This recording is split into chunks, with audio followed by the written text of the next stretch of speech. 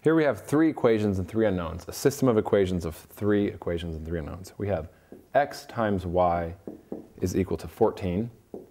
We have 3 times z is equal to 15.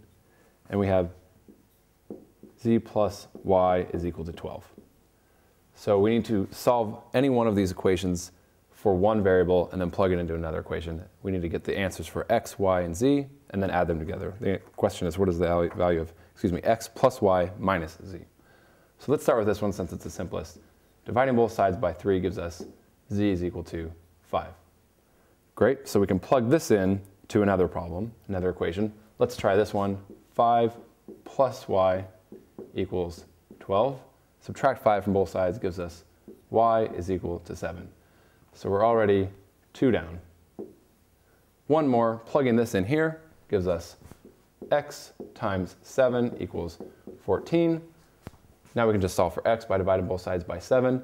x is equal to 14 divided by 7 is 2.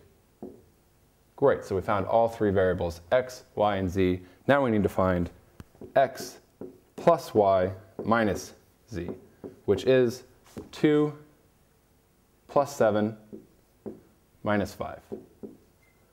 And that just gives us 2 plus 7 is 9, minus 5 is 4. And here's our final answer.